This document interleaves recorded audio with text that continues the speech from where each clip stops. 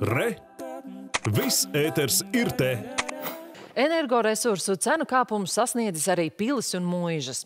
Rundāls pilī lēš, ka šogad par apkuru un elektrību būs jāmaksā par 120 tūkstošiem eiro vairāk nekā pagājušajā gadā, bet samazināt energoresursu patēriņu, neraugoties uz nelielo apmeklētāju skaitu, nesot iespējams. Mazajās lauku mūžās, kur apkurei netiek izmantota gāze, sadārdzinājums nesot tik būtisks, bet, ja krīze turpināsies, nākšoties celt pakalpojumu cenas. Rundās pils apbūves ansamblī ir vairāk nekā desmit ēkas, kurās atrodas vairāk simti telpu. Atšķirībā no 18. gadsimta, tagad krāsnes ir tikai muzeja eksponāti. Mūsdienu apkurs sistēmā siltums tiek ražots no gāzes un lusterās deg elektriskās spuldzītes. Apkurs un elektrības izmaksas jau pagājušajā gadā prasījušas gandrīz 150 tūkstoši eiro, bet šogad pieaugums tiek lēsts vēl par 120 tūkstošiem. Pēc muzeja aprēķiniem sadārdzinājums elektrībai pieaug par 66% 2022. gadā. Savukārt gāzei tas palielinās gandrīz trīs reizes. Samazināt energoresursu patēriņu, neraugoties to, ka pašreiz muzeja nedēļā apmeklējot tikai ap 200 viesu, nesot iespējams, jo padomju gados būvētā sistēma nepieļauj regulēt apkuri. Turklāt muzeja eksponātu uzglabāšanai ir savi noteikumi. Vienkārši sakot, labi uzturēšanas apstākļi ir tādi, kuros nav lielu svārstību.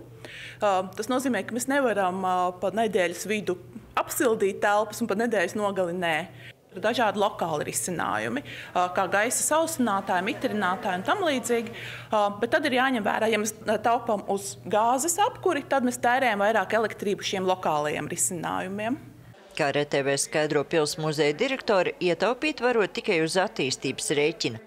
Nu, un, rēķinoties ar to, ka šādas izmaksas būs, tad daļu no pagājušajā gadā nopelnītajiem līdzekļiem mēs atstājām nu, naudas maciņā, ja bankā šim gadam, lai sektu energoenerģijas izmaksas. Mēs ļoti ceram, ka tas ir tikai šāds viens paka, paka, pasākums šajā gadā, ka tas tā vairs neatkārtosies nākamajā gadā. Un, mēs arī ceram, ka šīs gads attiecībā uz pašu ieņēmumiem un budžeta plānu izpildu būs daudz labāks nekā pagājušais gads.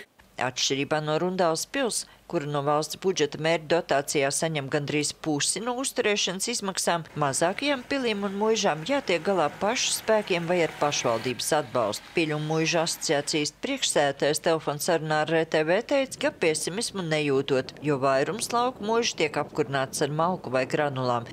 Reāli es neticu, ka tas tā turpināsies. Un tad vienkārši pacelsim cenas no klientiem izmaksās ārkārtas. Nu, es esmu savā mūžā tā darījuši. Man dārgāk izmaksā tas pakalpojums, un arī no attiecīgi klientiem būs vairāk jāmaksā. Iespēja prasīt kultūras ministrijai saskaņojumu augstākām pakalpojumu cenām, ja energo cenu lēciens neapstāsies, apsver arī Rundāls pils. Tomēr vairāk par visu, gan pilīs, gan muižās cer uz atbrīvošanos no Covid-19 ierobežojumiem, kas ļautu senās vēstures pērles atkal piepildīt ar turistiem. Sandra Leitāna, Andris Pāns, Vidzemes televīzija.